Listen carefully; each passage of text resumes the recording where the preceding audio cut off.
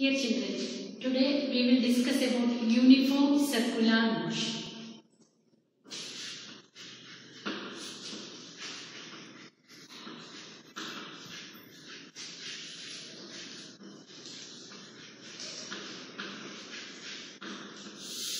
Uniform circular motion. So from the word itself you will get an idea, it will be uniform motion and it will be circular motion. So before discussing uniform circular motion, we will see if an object is moving in a straight line path, how many times its direction will change? Its direction will not change at all. no? It is moving in a straight line path, so direction will not be changed. If it is moving in a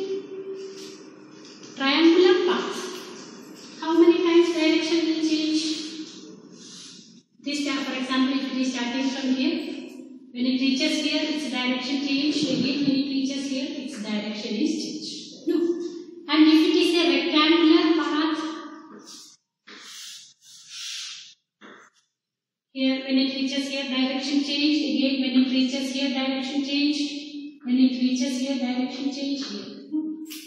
Four times its direction will change. Similarly, if it is pentagonal path,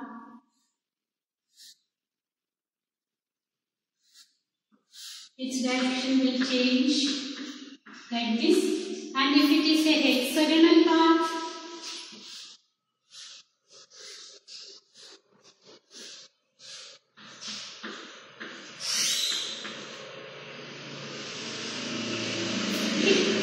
so, so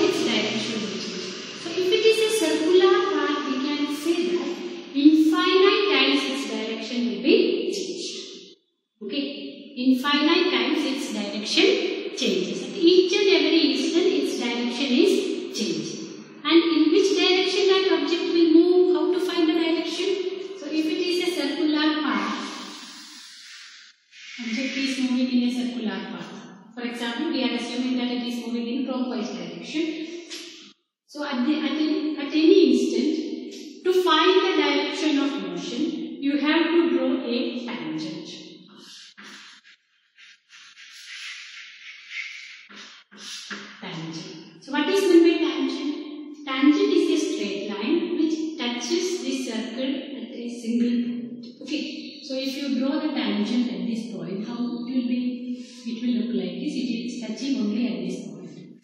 So the direction of velocity is indicated by the tangent.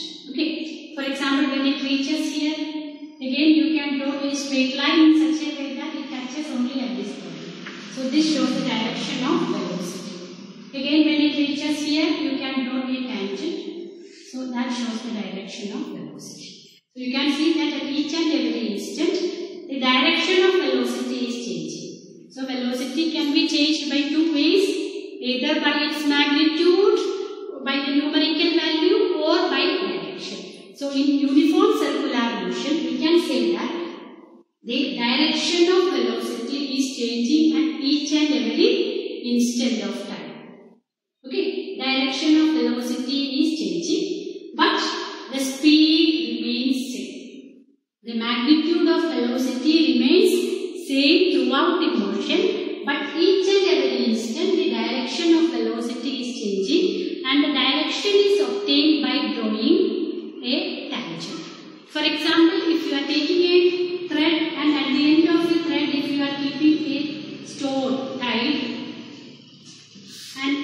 Are rotating it like this, okay, you are rotating either clockwise or anti-clockwise and once you release, for example after if you are rotating like this, anti-clockwise direction.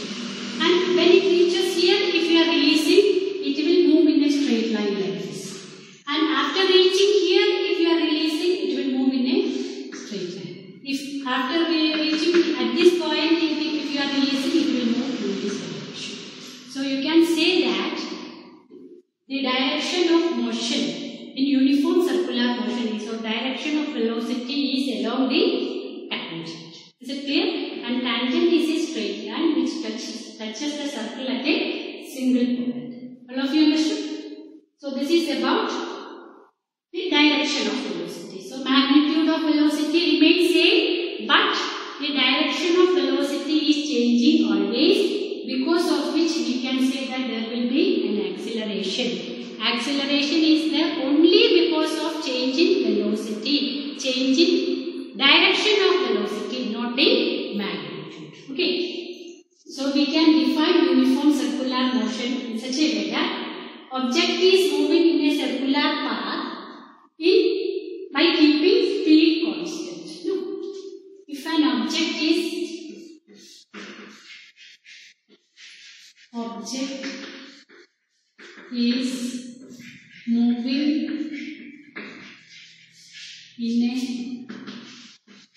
circular path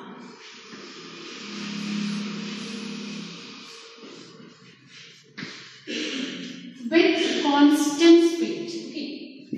With constant speed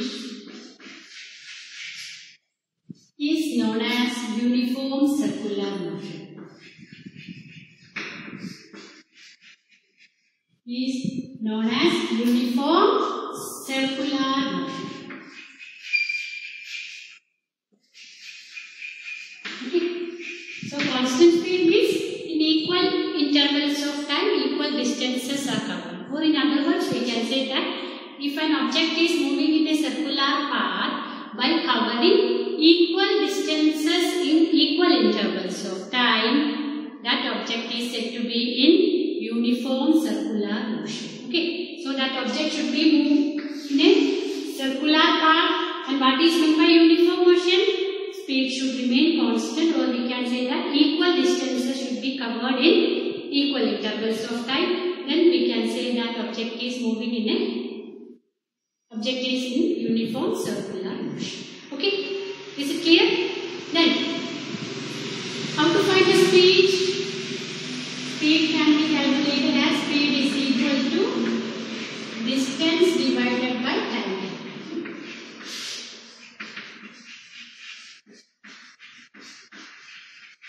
distance traveled divided by time taken is known as speed and in one circular path what is the distance traveled if it covers what if it covers one circumference the distance traveled will be 2 pi r and that time taken we will normally we call it as time period so time period is the time taken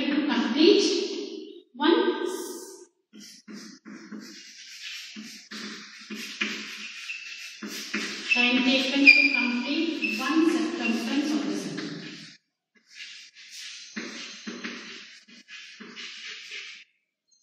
Complete the circumference of the circle. No?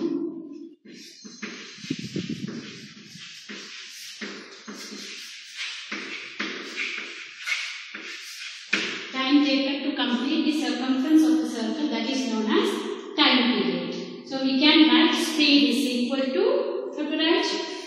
Speed is equal to distance traveled can be written as if r is the radius of the circular path what is the circumference? Circumference can be written as 2 pi r divided by what is the time taken? Time taken we are writing it as capital T. This is the time period.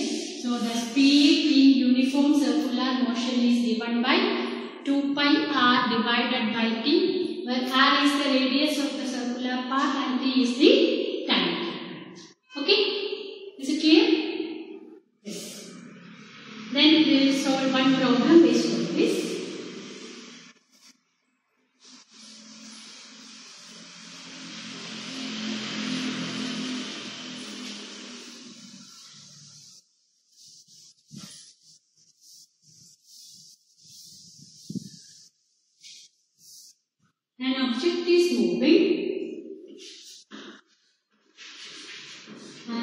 Object is moving in a circular path of radius 10 meters. An object is moving in a circular path of radius 10 meter.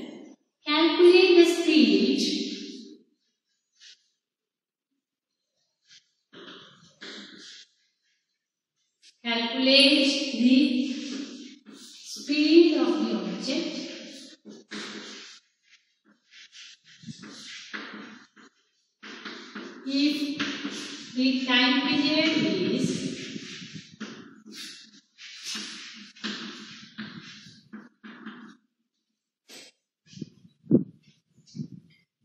six uh, six minutes.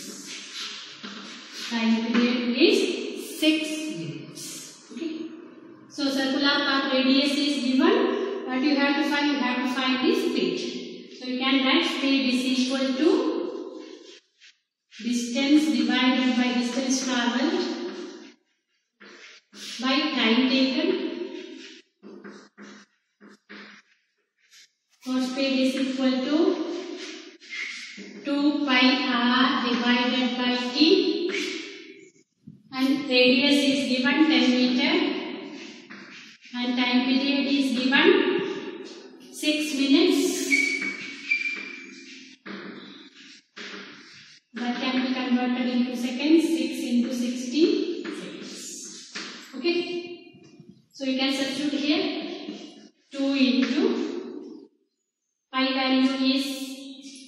22 by 7 or you can make it as 3.14 also 3.14 into radius is 10 divided by 6 into 60 or you can write it as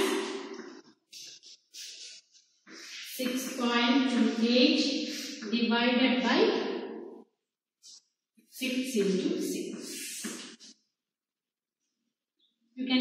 can it. Can be written as 3.143 again 1.573 so 1.57 divided by 9 or it can be written as 0.1